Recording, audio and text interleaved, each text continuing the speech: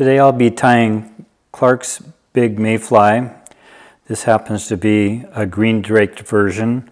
I recently highlighted this fly in a yellow version in my Throwback Thursday fly on my Riverkeeper Fly website, and I'll have a link to that below.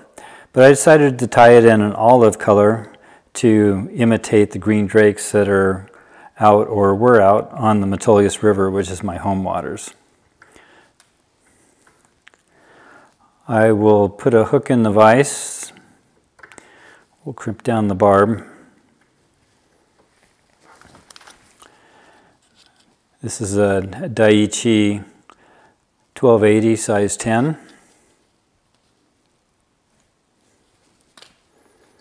And my thread today, I like to use Danville. This is a 6 aught in an olive.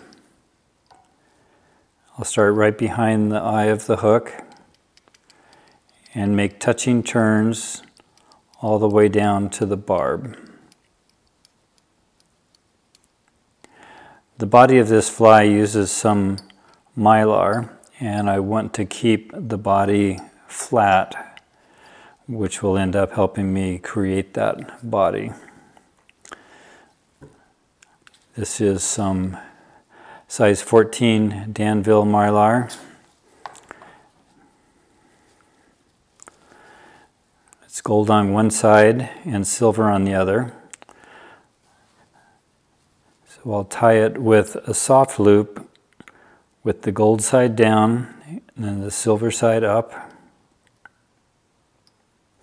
Just, with, just leaving a, sh a short tag.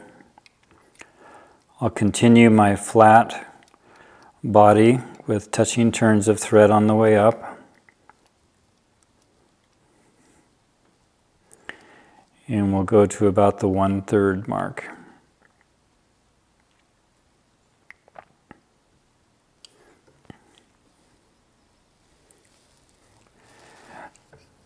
I'll use some Zap-A-Gap. This adds to the stability of the fly. Just put a couple of small daub, daubs on it. You don't have to do this. And as I fold that over, the gold will now be on top.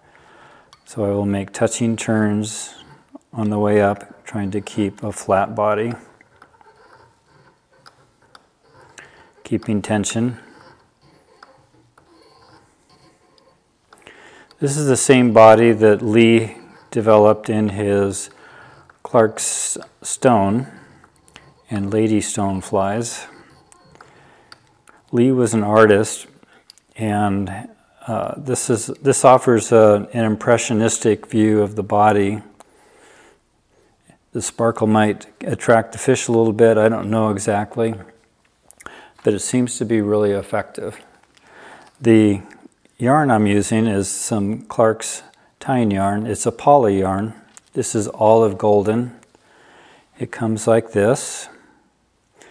And so I've got the end of it.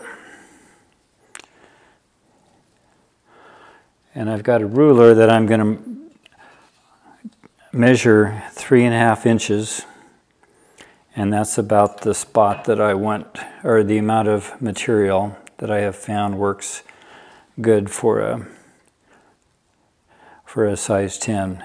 And you'll notice that I'll use three, three segments of this. And I found that that's about right for, for a size 10 hook. Now I found that if I tie these in at different areas, it will help so I don't create a real bulky body. So I'll take a soft wrap, capture that, and then move towards the eye. Come back a little bit. And this is a looped section, so I'm just going to cut that. And I will hold that with a, and capture it with a soft wrap, and then wrap forward to try to bind down all the ends. And if you do that, a lot of times you don't have to go back and use your scissors to trim the butt ends. That will save you a little bit of time. And I'm just going back to about the one third point and we'll create the body now. I will take the poly yarn and hold all three segments and then just start twisting. And if you just twist one direction, I'm twisting away from me. Keep twisting so it's really tight. And it will eventually start to, to twist over on itself, and that's what you want. I'll pull this section forward and measure with my left hand the length of the body that I want and I'll hold the the hook and the poly with my hand and then let go. And you'll notice that that twists and that's fine. If it's not long enough, don't worry, just let it go and you can start over. It's very easy. When I first tied these, I thought, oh, I'm going to mess up with the first one, which I did and the body was too short and rather than go back and change it, I just tied it. So that's the way to not worry about it. Again, we'll measure. So I wanted a little bit longer, maybe a hook gap past the end of the hook. Hold on to the poly and the hook and let go. And then you can twist it, help it a little bit. And that's going to be your body. I'll hold on tightly with the um, with the poly and the the hook. Let it unravel a little bit. That will help to uh, secure this to the top of the hook. And I found 10 or 12 wraps works pretty well to secure it. I'll pull it back. This is going to now be our post. So I want that to continue to sit, sit straight up flatten my thread. I'm going counterclockwise because every time I take a wrap, it puts a twist in it. I'll post this and I'll start going around. And I want, I'm trying to get touching turns on the way up. And I found that if I turn it sideways, it's much easier for me to see that I'm using touching turns that you can see that. And I'll probably go up 12 or 15 wraps of touching turns to create the parachute post. There I am at the top, and I'll just come straight down, make a loop, and repeat that process. And this is just creating a thick post.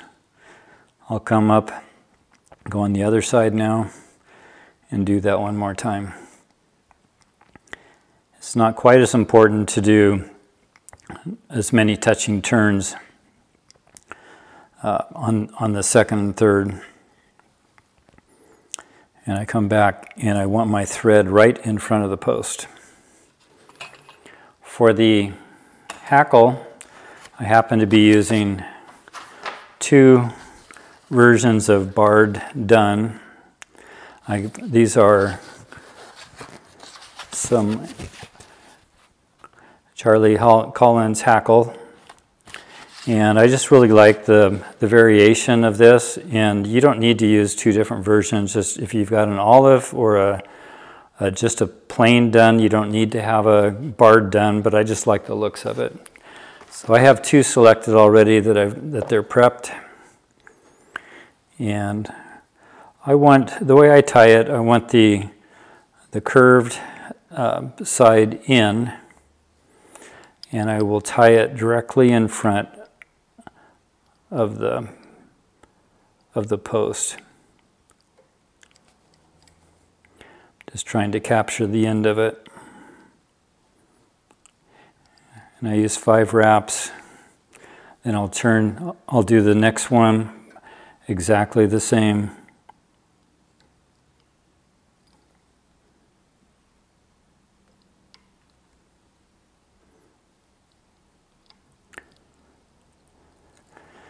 And with those sticking straight up then, go up that twist a little bit, so let me redo that. Not have as much thread sticking out. so if you don't like it, just remove it and tie it in again. So they're both going, the contours are exactly the same now. And I will take my thread then and go up the post.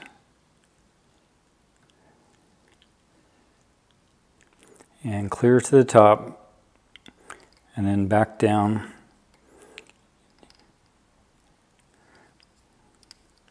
And go to the, the spot behind the eye. I'll just be using some superfine dubbing that's caddis green. I used a lot of superfine dubbing for my dry flies.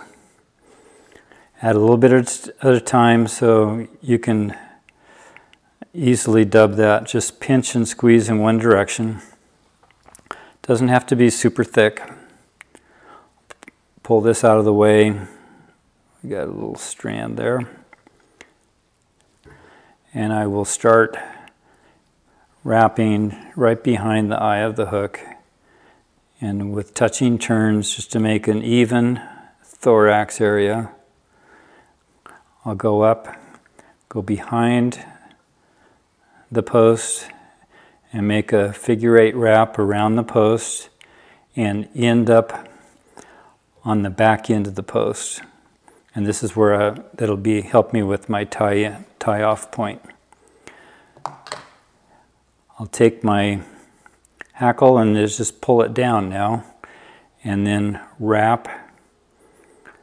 I'll hold on to the post as I can and as I turn, as I change hands and wrap down. So I have the first wrap on top, the next wrap below it, and we'll go below that and below that.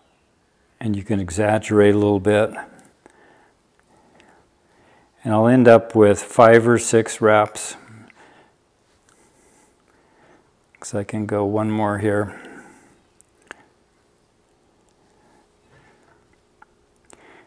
And I've got it held with my left hand so I can take my thread now and we'll just wrap around the parachute. There's one wrap. And try not to trap any of those barbules down.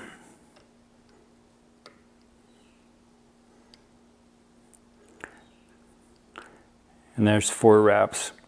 Some people just use the Zap-A-Gap super glue and make a couple more wraps and don't even tie it off.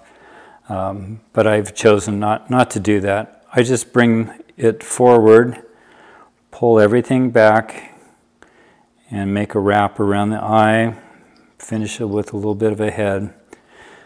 The downside of that, you will see one little thread wrap there, but I have caught fish with flies tied exactly like this, and I don't think that the fish really care.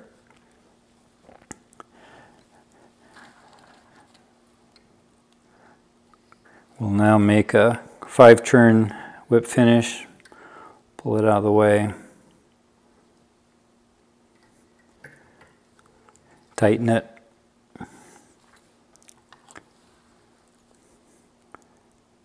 Trim it and now I will take my scissors and trim the hackle. And I do that just by grabbing the hackle, opening up my scissors, and then just pushing and pulling the hackle at the same time.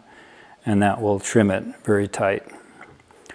The last part is to uh, make the post a little bit shorter, just trim, trim to length, and I usually pull that towards me and it's about the body length somewhere in there. It's not critical. And then I'll take my scissors and fluff out the post. So that is the Clark's Big Mayfly. It happens to be in a green drake color. As I mentioned earlier, I'll have a pattern sheet linked in the bottom or in the description down below. And I'll also include a link to uh, the Clark stone so you can see how he's used poly in order to create the wing with that as well. And I've got a YouTube video showing how that fly is tied. If you've liked this, I hope you subscribe to my YouTube channel and hit the like button down below.